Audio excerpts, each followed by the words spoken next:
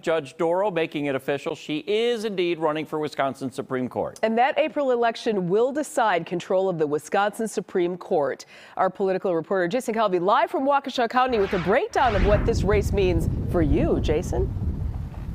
Well, Mary, the Wisconsin Supreme Court will likely decide the future of Wisconsin's abortion ban. In the past, they've ruled on some monumental cases in the state, like Act 10, uh, the state's uh, COVID 19 shutdown, absentee ballot drop boxes. Now, progressives could actually take control in the April election. Uh, conservatives currently have a 4 to 3 majority, and one of them is retiring.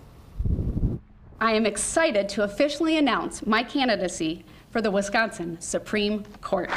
Judge Jennifer Dorow jumps in. If you know me at all, I do wear my emotions on my sleeve, and it's it's just so overwhelming to be here today. She gained national attention for presiding over the Waukesha Christmas Parade trial. I have been a judicial conservative for my entire career. But some conservatives are backing another candidate, former Supreme Court Justice Dan Kelly, who lost his election in 2020. When they tell me we don't want to gamble, uh, what they're telling me is if a Supreme Court candidate comes to us and says, uh, here I am, I'm a, um, I'm a faithful constitutionalist, I follow the rule of law, they want proof of that because, uh, because they feel like they've been burned uh, before. Kelly and Dorow wouldn't say how they'll rule on an abortion case. As a jurist, as a judge, I have some ethical constraints that prohibit me from commenting on any pending litigation. Progressives back other candidates Milwaukee County Judge Janet Protasiewicz and Dane County Judge Everett Mitchell. I think for me, it's going to be about listening to those cases. Obviously, my values have always been very strong about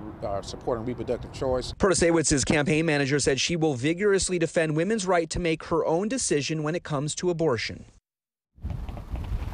Now, these four candidates will compete in the primary, which is scheduled for February. The top two vote getters, no matter who they are, because this is a nonpartisan race, no matter if they're conservatives or liberal, the top two vote getters will move on to the general election in April. But first, they have to get the nomination signatures to get onto the ballot. That process begins tomorrow in Waukesha County. Jason Calvi, Fox 6 News. No time to rest. All right, Jason, thank you.